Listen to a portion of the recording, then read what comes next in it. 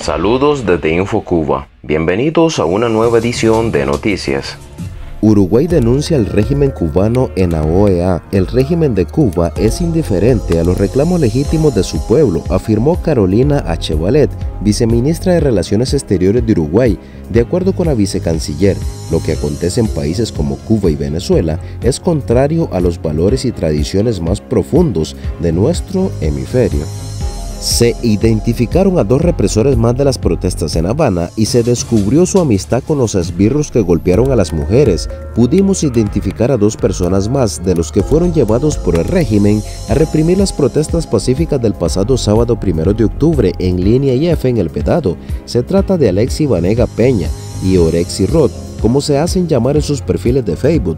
Resulta que Orexi Rod tiene de amigos a Alexi Vanega Peña y a Yurieski Simón, el cual fue identificado hace unos días por presenciar y ser parte de aquella foto donde se ve a otro represor golpeando a una mujer. Promesas y mentiras. Cartel denuncia la falta de agua en Pinal del Río. Con un cartel colgado frente a la vivienda número 5 de la calle Antonio Maceo, los residentes denunciaron públicamente promesas igual a mentiras. No tenemos agua hace 45 días.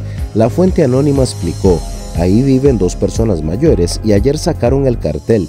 No tengo otros detalles, pero infiero que tal vez realizaron varias llamadas o se quejaron personalmente ante los funcionarios del acueducto y tal vez les prometieron una solución al problema, como no se solucionaba, pues de ahí lo de las promesas igual a mentira.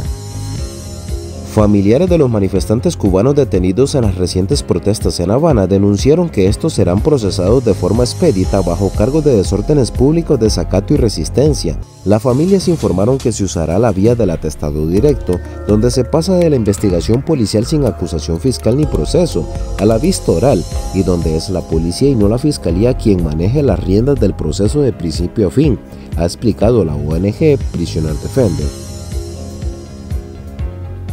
El movimiento Militares Cubanos, Objetores de Conciencia, llamó a los miembros de las Fuerzas Armadas Revolucionarias y del Ministerio del Interior a posicionarse junto al pueblo y no reprimir las manifestaciones pacíficas que han tenido lugar en distintos puntos de la geografía cubana.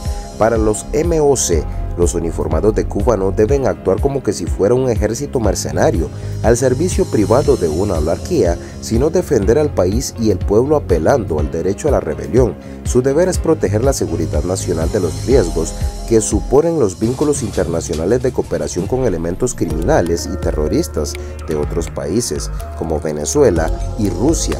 El deber de los militares cubanos es defender la soberanía del pueblo, no los intereses mezquinos de estas lacras de parásitos.